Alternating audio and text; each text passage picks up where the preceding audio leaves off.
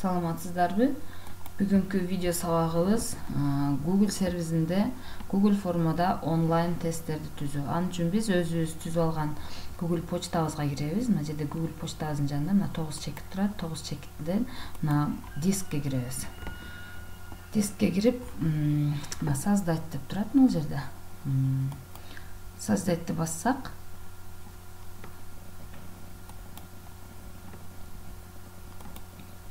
создать баса загрузить папка э, файл э, документ таблица google презентация. Бұл жерде еще google форма дегенге кіреміз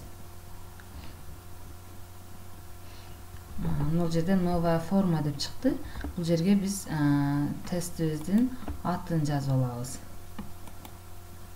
Қайсы сабактан тест түзүп аткан болсақ ошонун атын жазып алсақ болады мисалы үчүн кыргызстан. Деп кыргызстан жөнүндө маалымат мына жерге эмне болсо кыргызстан жөнүндө маалымат жазып койсок болот. Эми мына жерге суроолорду плюс белгисин басып кошуп кете беребиз мына жерге окуучунун аты жөнү. Окуучунун аты жөнү. Мына вариант дегенге түшөбүз. Вариант дегенге түшсөк мына жакта один из списка бул жактан текст строка дегенди жазып алабыз. Мына жерге сөзсүз бул сурообузга жооп бериш үчүн мына жерди көгөртүп белгилеп коебуз. Кийинки суроону кошуп кетебиз. Классы. Классы. Бул жерде дагы один из спискадан текст строканы колдонобуз. Бул жерди дагы мына сөз жооп бере турган кылып белгилеп коебуз мына жерден эми суроолорубузду берип баштайлы кыргызстандын борбор шаары десек мына жерге жооп беребиз чүй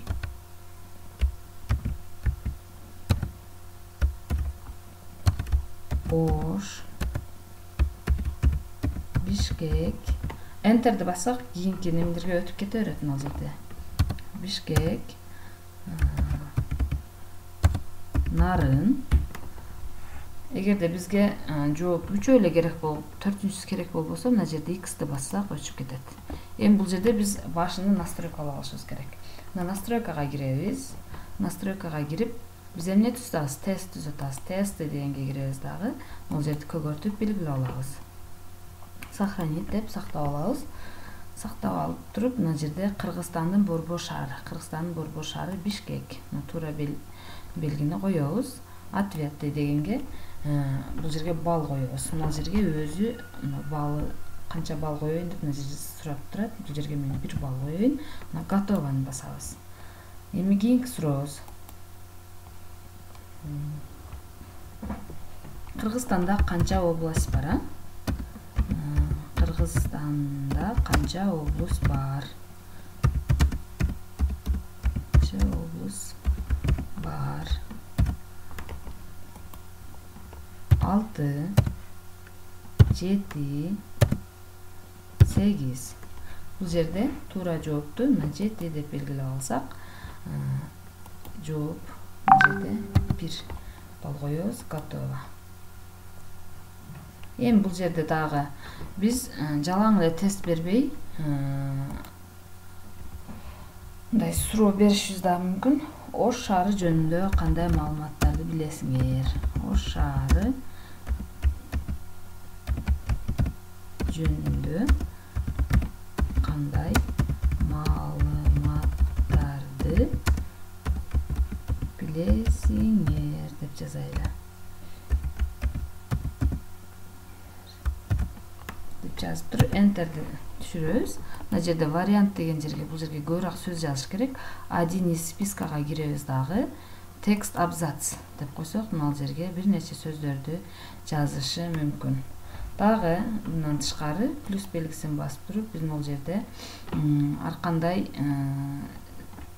сүрөттөрдү коюп алсак болот мына жерде добавить изображение дегенге кирсек бизден мына жерден изображение сүрөттөрдү сурайт. Мына ал чыңгыз айтматов экен э чыңгыз айтматовду коюп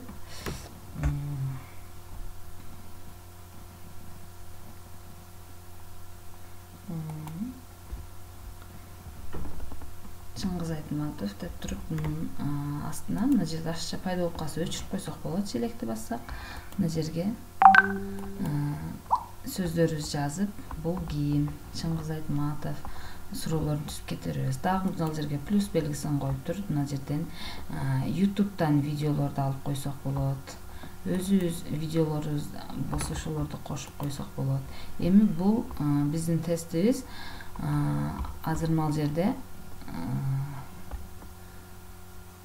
отправить жибирөөгө жөнөтө турган болсок отправить этсек могул жерден почта аркылуу жөнөтөбүз анан ал жерге кирсек бассак бизге ссылка пайда болот могул короткий url деген жерге галочка койсок мына жерге биздин ссылкабыз шилтемебиз кыскарып калды. Эми буну копировать этебиз копировать этип туруп whatsappка алып келип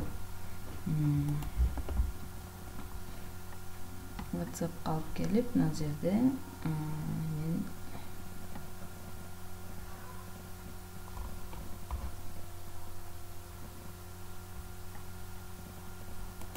мен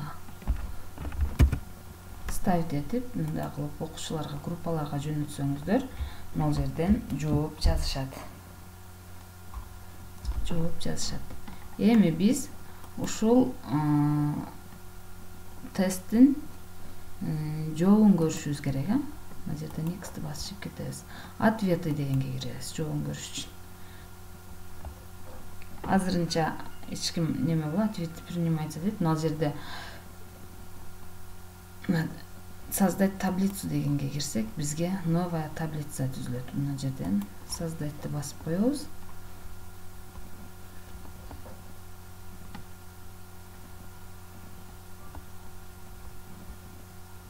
Мынеке кайсы убакта жооп бергени баалы окуучунун аты жөнү классы могул жердеги суроолор баардыгы ушул жерде ким канча балл алганы ушул жактан бизге көрүнүп турат көңүл бурганыңыздар үчүн чоң рахмат.